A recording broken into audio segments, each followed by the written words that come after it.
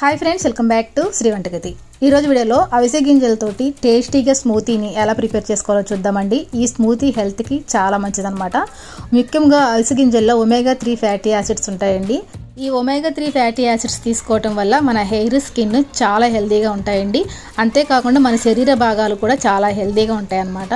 ముఖ్యంగా weight loss చేసేవాళ్ళు దీన్ని ఎర్లీ మార్నింగ్ బ్రేక్ఫాస్ట్లో తీసుకుంటే కనుక చాలా మంచి బెనిఫిట్ ఉంటుందండి. షుగర్ ఉన్న వాళ్ళకి కూడా చాలా మంచిది అనమాట షుగర్ చాలా బాగా కంట్రోల్ అవుతుంది. ఈ అవసర గింజల్ని మనం ఉత్తిగానే తినాలంటే తినలేము కదా. అందుకని ఇలాగ స్మూతీ లాగా చేసుకుని తింటే కనుక మనకి చాలా మంచిది అనమాట మలబద్ధకంతో బాధపడే వాళ్ళకు కూడా చాలా బాగా ఉపయోగపడుతుందండి. దీంట్లో చాలా రకాల హెల్త్ బెనిఫిట్స్ ఉన్నాయి.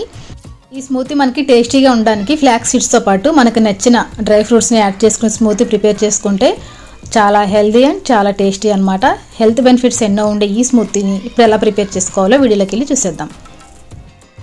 ఓకే ఫ్రెండ్స్ దీనికోసం ముందుగా ఒక మిక్సర్ జార్ తీసుకుని దాంట్లోకి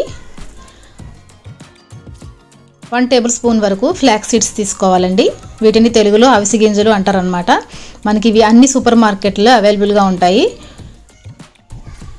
ఇలాగ మిక్సర్ జార్లోకి యాడ్ చేసిన తర్వాత మనం ఒక గంట ముందుగా నానబెట్టుకున్న వాల్నట్స్ ఉంటాయి కదండి వాల్నట్స్. ఒక ఐదు నుంచి పది వరకు పిస్తా పప్పులు కానీ బాదం పప్పులు కానీ వేసుకోవచ్చు. వీటిని యాడ్ చేసుకోవాలి. ఇవి నానబెడితే కనుక మనకి తొందరగా గ్రైండ్ అయిపోతాయి అన్నమాట. నెక్స్ట్ ఇప్పుడు దీంట్లోకి చిన్న దాల్చిన చెక్క ముక్క వేయాలండి. దాల్చిన చెక్క వేయడం వల్ల మంచి ఫ్లేవర్ వస్తుంది. తర్వాత దీంట్లోకి బెల్లం వేసుకోవాలి. నెక్స్ట్ ఇప్పుడు దీంట్లోకి ఒక బనానాని ఫుల్గా యాడ్ చేసుకోవాలి. ఇలా కట్ చేసుకుని వేసుకోవాలన్నమాట. తర్వాత దీంట్లోకి ఫ్యాట్ తక్కువగా ఉండే మిల్క్ ఉంటాయి కదండి ఇవి కాచి చల్లార్చిన పాలన్నమాట. వీటిని యాడ్ చేసుకుని వీటిని మెత్తగా చక్కగా మిక్సీ పట్టేసుకోవాలి.